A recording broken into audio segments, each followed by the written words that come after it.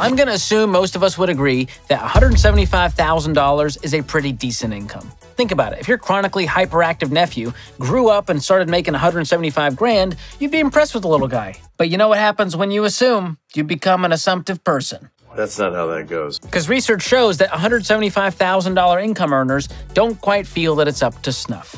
So today, we're talking why so many wealthy people feel poor, plus one simple rule that will help you feel like you have more than enough guaranteed. But before we tackle this hard hitting content, tackle that like and subscribe button like your little nephew tackles you. It hurts so much because he loves so much, and I expect the same from you. Does someone need a hug? So all this started when the data nerds at Bloomberg surveyed objectively wealthy Americans making 175,000 bucks a year, which by the way is basically the top 10% of US tax filers. These people who some call quote regular rich were asked the suggestive question, do you feel rich? Not to be confused with the other suggestive question that's frequently asked, are those on cloud? Yes, they are, Darren, and we've already talked about the arch support. Okay, I like them much better than my Hokas. That's how you know rich people are talking to each other, by the way. It's Hoka on cloud conversation. Of the survey respondents, about a quarter of them said, Yes, I feel rich or very rich, which makes me happy or very happy for their fortune. But what doesn't make me happy is how the other three quarters or so of people responded. About half of these high earners described themselves as, quote, comfortable, which translated to modern speak is pretty much this meme in real life. A little uncomfortable, it's fine, everything's fine. And that brings us to the remaining quarter or so of respondents who identified themselves as very poor, poor, or, quote, getting by, but things are tight. Think about that for a second. One out of four people earning $175,000 feels poor.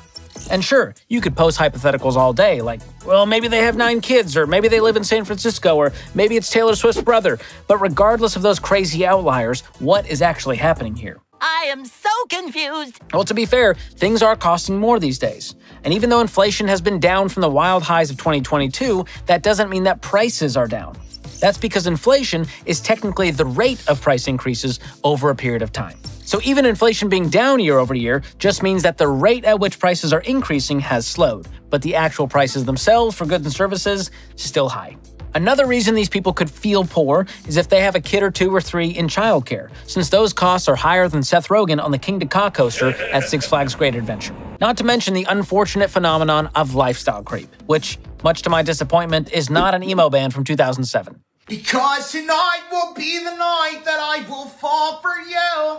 Lifestyle creep is when your income increases and your spending creeps right up to meet it, so you're not actually gaining any more margin in your monthly finances. Meaning it's a possibility that the reason these people don't feel rich is not because they don't make enough money, it's because they spend everything they make on stuff they don't need. And listen, this isn't a theory. I talk to people all the time as I co host The Ramsey Show, and they call in and they're making six figures and they are broke because they're spending more than they make and they've got huge debt payments, huge mortgages, huge car loans, thousands in credit card debt, the HELOC, the pool loan. You get the picture. But even with all of that and a million other theories that are probably valid, I don't think that quite gets to the heart of why rich people don't feel rich right now. Now, we'll talk about my hypothesis in a second, but first, it's time for our regularly scheduled security check. I know, I know, security isn't exactly fun, but you know what's even less fun?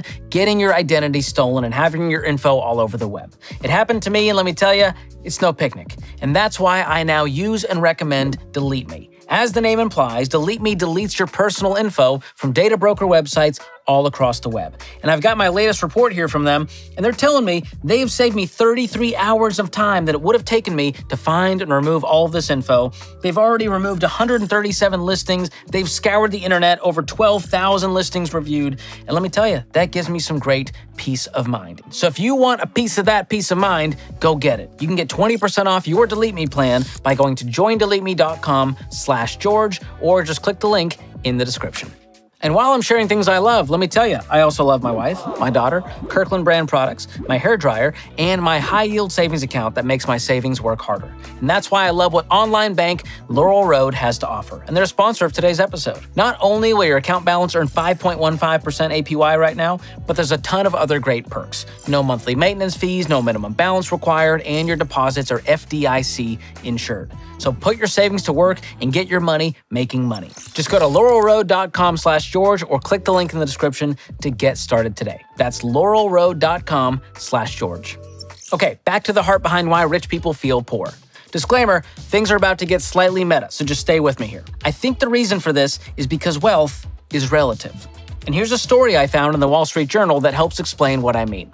There's a 41 year old executive at a healthcare staffing company in Tampa whose pay has fluctuated around $400,000. I imagine on weekends he cleans his pool and goes to the Salvador Dali Museum down the road with an annual pass. But that's neither here nor there. Here's what he had to say about his income and wealth. Quote, I don't think of myself as rich. I think of myself as having worked really hard. End quote. He and his wife do things like make coffee at home to avoid Starbucks and buy fruit based on what's on sale. But let me tell you, even if honeydew is on sale, I'm not buying it. All right, I'm not falling for your low tier filler fruit. Nobody ever wants honeydew, but it's always there. Do better. He goes on to say, quote, We're not extravagant people with high-end country club memberships or a private jet or anything like that, end quote. Now, on one hand, I respect this guy for valuing hard work and being smart with his spending, and clearly, he's very smart. He's very successful. On the other hand, this is kind of what I hear him saying. Sure, we make a lot of money and we're comfortable, but some people are richer than we are, with way more stuff, like private planes.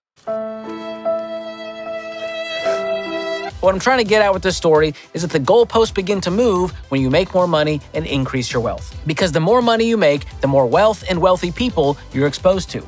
And the more people you're exposed to, the more you start comparing yourself. And the thought of, if I could just make that much money, I would feel wealthy, could quickly turn into, sure, I've built some wealth, but I don't have nearly as much money as those people. Because you see other people who are more successful, earn more, and have more, suddenly they're the rich people, not you. So, the solution to all of this for starters, say no to debt, avoid lifestyle creep, and this should go without saying, but avoid real life creeps. Because you can't control prices, but you can control how you spend and how you manage your money. I'm the boss. So, some things you can do you can switch to generic brands, you can change where you shop, you can buy a used car in cash instead of taking out a loan for some status symbol that will plummet in value the minute you drive it off the lot. Next, you gotta stop the comparison game. I mean, guys, if you like games, there's a ton of other fun games you can play out there. Head to your local Cracker Barrel, the peg game is totally free and way more fun. Now, lastly, as your income increases throughout your career, your goal should be to have more expendable income and margin to build wealth with, not a country club membership and a Sea-Doo. In fact, this is the key to feeling like you have more than enough, whether you make 175K or not. So, how do you get this magical thing called margin? You have to create an intentional spending plan with a budget. And listen, budgets aren't for broke people, and they're not for rich people, and they're not for Excel accountant nerds. They're for anyone who wants to win with money and create some margin. And my favorite app to budget with is called EveryDollar. So check it out for free with my link below in the description. Because regardless of your income, the rule to remember here is if you can create 40, 50, even 60% margin with your income to do whatever you want with, invest, save, spend, and give, you will never feel poor. So, lesson learned the more margin and contentment you have, the richer you will feel. Now, if you can relate to the people in this video who make a solid income but still feel like they don't have enough, you may be suffering from something experts are calling money dysmorphia. Not to be confused with dyspepsia, which can be equally upsetting but solvable with a shot of Pepto and a boycott on bubbly. So, to find out if there's something deeper lurking beneath the surface that's informing how you feel about your wealth status, be sure to check out this next video on money dysmorphia or just click the link in the description below. In the meantime, share this video with a friend who you'd love to ride Kingda with. And as always, thanks for watching. We'll see you next time.